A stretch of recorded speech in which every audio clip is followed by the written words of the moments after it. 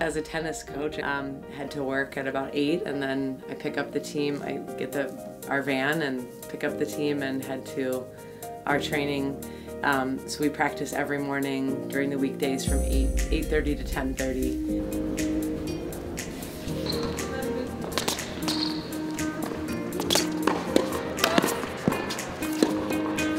I've been with basically XS, I think at least 10 years or something. They just opened this club one year ago, so is a brand new site.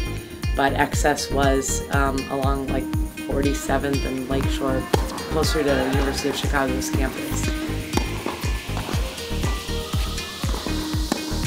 During practice, you can't get to every single person's need. I try to structure practices and drills um, to kind of help the majority of the team and then certain things are for individuals. So I think during a practice it's a little bit easier. We cannot hit off our back foot. Feet are down or stepping forward.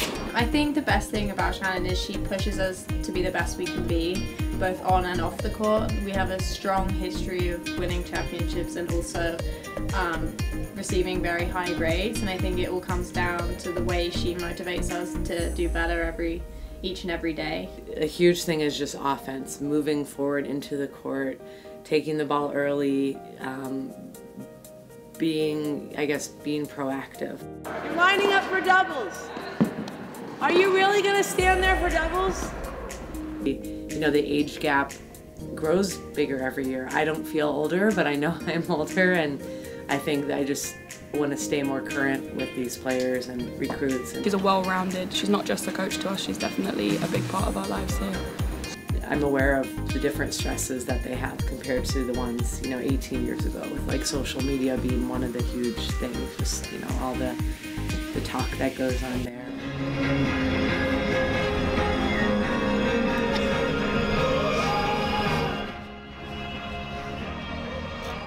Say she's focused on every single player. Um, she understands that everyone has a different game and she's still trying to improve in our weaknesses, which is not easy if you have so many different girls on the team and everyone has a different weakness. And come on. Yeah. I think that's always a work in progress. Like you know who doesn't. I, I don't know. I don't like yelling at my players. I'm their I'm their American mom here. I, I'm, I will help them through any situation. I love getting transfers. I feel like they're a little bit more experienced. They're coming from a program they weren't happy in. Chicago's a wonderful place to come, you know, and finish out your college career. I think everyone has a great balance here at UIC. I had some coaching difficulties my freshman year. Um, which made it difficult for me to stay and I was looking for a better coach. I was sending emails to different schools and different coaches and nothing felt quite right as such and then I got I received an email from Shannon and I instantly felt this feels really good. Um, we started talking and I think in the space of a few days or a week I committed and signed and here I am.